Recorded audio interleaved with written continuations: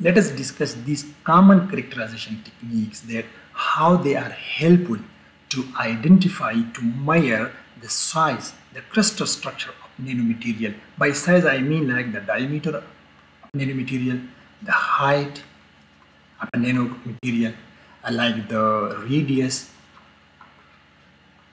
like the length so these techniques are very very helpful to identify these parameters. The first one is basically x-ray diffractions. The second one is HRTEM the third one is scanning electron microscopy atomic force microscopy UV vis visible near infrared spectroscopy and the last one is NMR I will link I will connect these techniques that how they are helpful to determine to identify the size or structural property of a nanomaterial. So the, the, I will I will I will explain uh, every uh, technique uh, in detail, and particularly how they are helpful uh, for size calculation. The first one is basically X-ray diffraction, and this is particularly PXRD, P for powder, because the sample we characterize in a sam in a powder form, like in bulk form, right? Mean polycrystalline. So polycrystalline mean that there are many crystals of varying size, like big crystal here, you see here, like very small crystal. So here, the, the, the basic thing is we have to use here the average crystallite size, the average crystallite size. And this is Debye formula, and that this is not that reliable formula if you have already the SEM analysis or the transmission electron microscopy analysis. So better use these because you can see here, you can see by your eyes there how the grain and crystallite size looks like, right? But still, if you do not have those characterization technique, so this XRD is better to calculate the uh, estimate the crystallite size. So this is basically deeming the crystallite size. This is maybe in nanometer size or angstrom. Okay. So this this is the case basically constant. This lambda is the X-ray wavelength. This is scattering angle here, and this beta is basically the full width half maxima. We can easily calculate from uh, here. This is for example uh, we have to take this we have to use this baseline here and we have to take the half here. And this exactly the peak value is basically our uh, full width half maxima here. It should be in radian right? So this is how we uh, easily calculate uh, size uh, crystallite size from um, the uh, XRD the second one is high resolution transmission electron microscope. This technique is very helpful to calculate grain size uh, I don't know how you differentiate between grain size and crystallite size. Uh, sometimes they are equal, sometimes they are different. Basically, the crystallite size, crystallite is basically less or equal to grain. Grain. And this is less than particle. Okay, so sometimes it is equal, sometimes crystallite is less than grain. Okay, look, let's see here the HRTEM. You can easily see here, look this crystallite. Very nice the grain. You see here one grain because the planar in one specific directions this is this is one uh, grain here. Here we have to call a grain. You see here?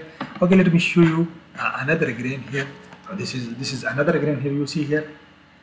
This is another grain very clear. You can see the plane is in specific direction. This is why i said this, this is basically polycrystalline material. Polycrystalline because we have many single crystal. Look this grain, very nicely. You see here, this is another grain, right? Okay, I don't have another uh, image, but this is, this is this is so helpful. And this is you see here, this is another grain here.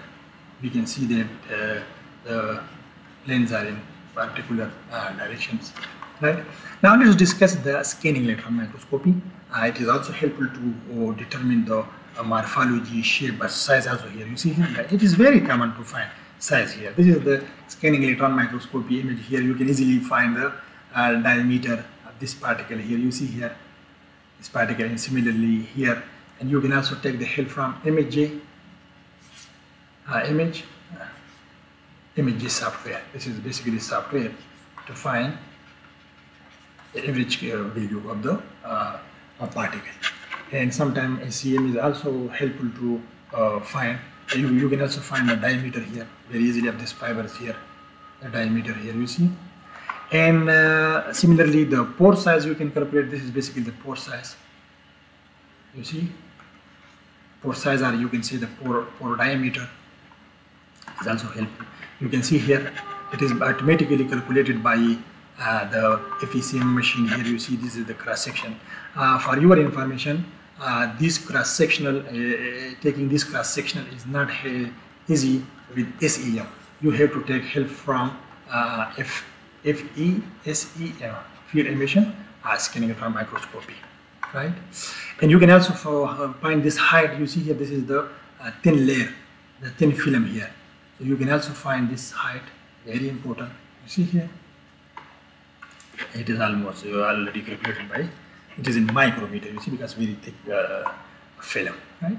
Now the next one is basically atomic force microscopy. Uh, it uh, basically in the previous calculation they, they use x-rays or electron but here they use basically the physical contact here. They basically use the physical contact right? So if, if uh, time cosmology basically pro provide the 3D surface overview here of any uh, nanostructure material basically it is equipped with some software that can measure the x, y and z dimensions. You see here this is why I say that this AFM is uh, helpful uh, to calculate the uh, size and the, the software name is basically this is basically the software I, I took it from Google. This software is best to visualize and analyze the AFM or data. You see here, this, is horrible. The last, the, the fifth one is ultra visible, uh, ultraviolet visible uh, near infrared spectroscopy. So it gives us the uh, information like this. And at this side it is absorbance here, and this side this is wavelength here. These two equations are there. I took it from literature. So uh, I'm not going into detail, but uh, for your information, I, uh, I for your information that it is easy to calculate uh, the particle size with the help of this technique. So these two equations are helpful uh, to use to calculate the uh, particle size. The last one is nuclear, nuclear magnetic resonance. I don't have personal experience in this, but this is also helpful to calculate the uh, particle uh, size. Uh, it is mean the diameter, the height, the radius, etc.